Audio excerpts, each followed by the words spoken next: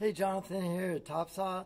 Today's video I'm going to go over this bolt-on receiver hitch. I'm going to put on my CTX50, put a sliding ball in there and see how it moves my trailer around.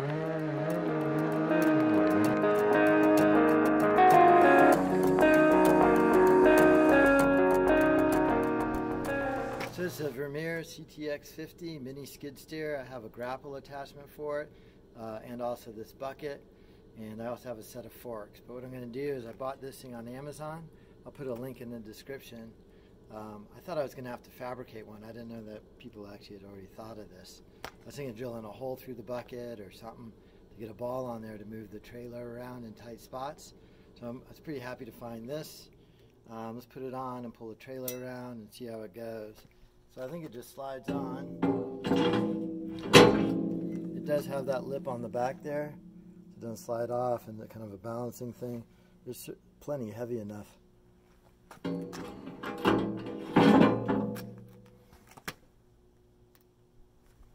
that's it.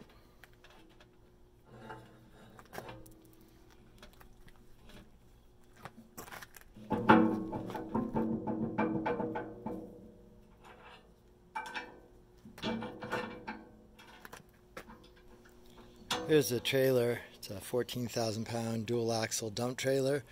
I had it custom built, has that bed on the front to park the mini skid steer.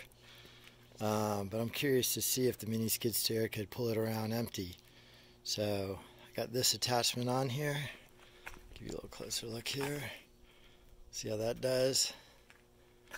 And that, I just had a thought that maybe I should reverse that to get a little higher because when I'm going to put hook onto the hitch, it's going to be pretty high up.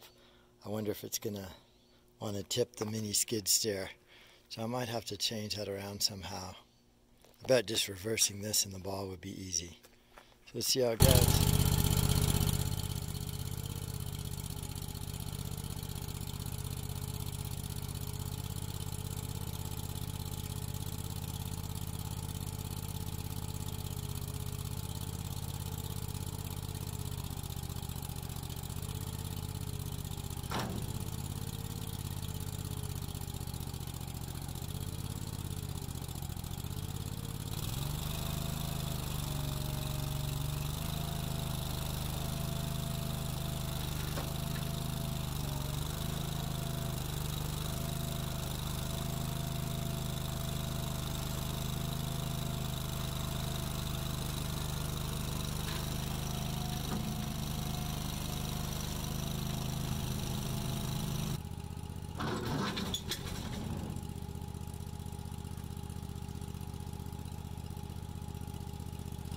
That was a little easier to hook up than I expected. Super easy to hook up and unhook.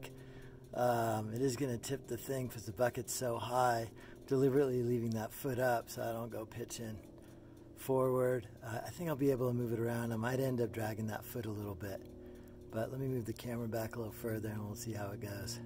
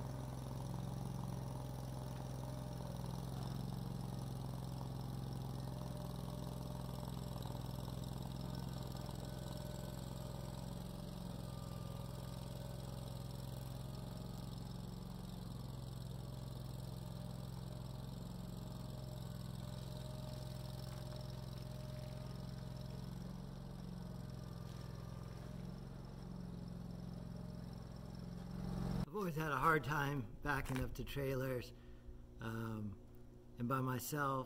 No, no, especially because I don't use this trailer very much. It's a school's trailer. But I did have a thought. I wonder if I could use a mini skid steer with that attachment and just lift the trailer on. That would be cool.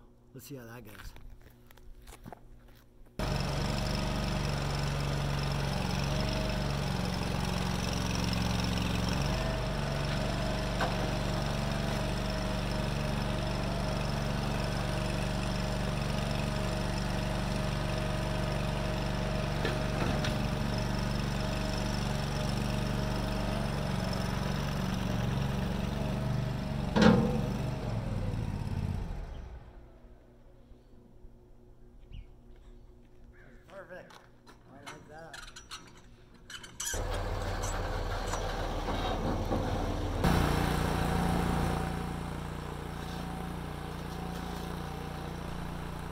Will say this about loading that mini skid steer.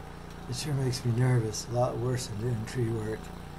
I gotta get rid of those six foot ramps and either get eight or ten foot ramps. Um, I got a comment that says, you know, make sure you're on top of the machine and you back it up like that. And I looked it up in the manual and it said that. But it's just, it's too steep. You know, the, the little plate under my feet kind of drag on those ramps. Um, and then when I hit the top, that roll over to going back to flat, man, it, it's scary. I don't like it. I don't like it at all. Um, so I think I am going to get some bigger ramps. We'll see how that goes. You can tell how nervous I am right here, getting ready to jump.